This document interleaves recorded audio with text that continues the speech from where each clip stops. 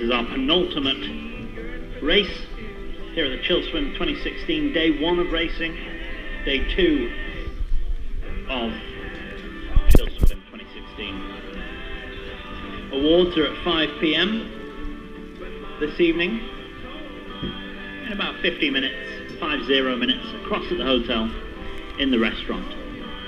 We look forward to seeing you all there. We've got about 88 medals to hand out. We've got some trophies, lots of free bits and bobs.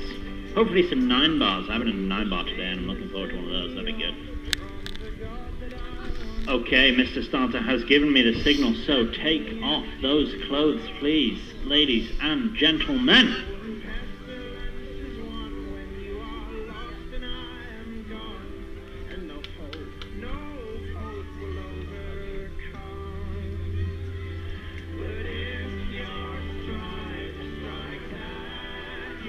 Okay, it looks like we are ready to start this race. So ladies and gentlemen, please take your positions in the water. I'm going to hand it over to Mr. Starter and remind everyone that we are now in the penultimate race.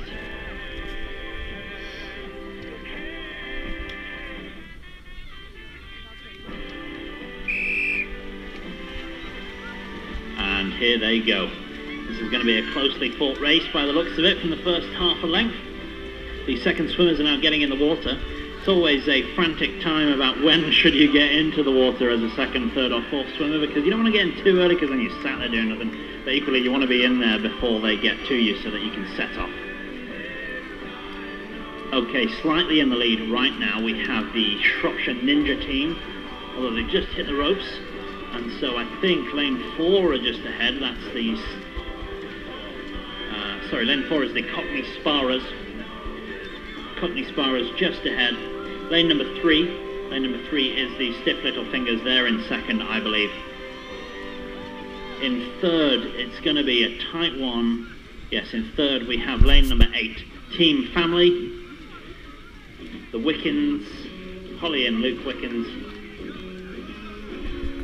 And in fourth, we have lane number two, the Crystal Palace Ice Queens.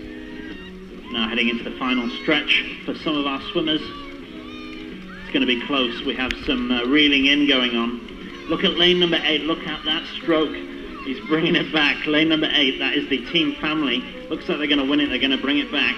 Lane number four, uh, that's the uh, Cockney Sparrows. Just going to, yeah, failed to hang on there and came in second. Very well done. In third, we have lane number three. Lane number three being the Stiff Little Fingers. Fourth for lane number two, the Crystal Palace Ice Queens. We now see lane number six coming in. Lane number six, of course, being those Vobster Lobsters, formerly called NECT M6. Fantastic. We do still have some... A gentleman doing circles in lane number one. Lane number one is the Shropshire Ninja team. I think he's confused as to which way he should go, this gentleman. But he does look good in his uh, little evil hat, his diamond hat. He's got a smile on his face. He's got his glasses on. He's got a leisurely pace. he's doing another turn around now. Think the safety team might prod him with some form of stick.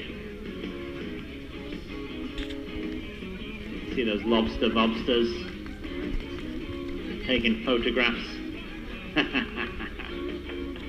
Fantastic. Shropshire Ninja.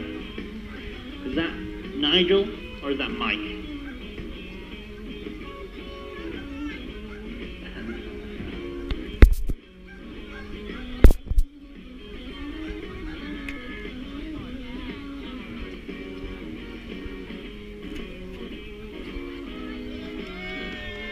And he brings it in. Everyone give him a round of applause. That cheeky devil.